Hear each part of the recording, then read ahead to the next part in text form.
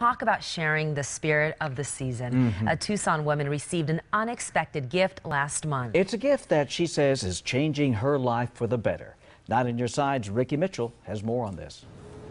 Marena Priday says she never expected that an ordinary November day would change her life. I have never expected anyone to give me anything. While working two jobs, including a graveyard shift, 21 year old Marena says she needed a car. It's really hard to get a ride home from work at 5 in the morning. She told the salesman at Premier Auto Center she had few options, no family to help her, and this was her last resort. I kind of at that point was at the end of my rope and I just kind of like spilled my guts, you know, like here's everything. She told them about how at one point she lived out of a car while she worked her way through high school. I slept in my car in the parking lot and I would go to school at night or in the afternoon. Her story inspired owner Scott Lehman. It just seemed like every time she did something to get to get a break, it, it didn't work out. You know, something happened. So I wanted to help give her a break. So they gave her a car, no catch, free of charge. And I said, You're going to give me a car? and he said,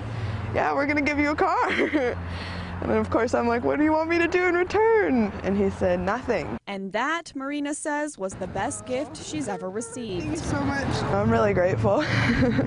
Ricky Mitchell, KGUN 9 on your side.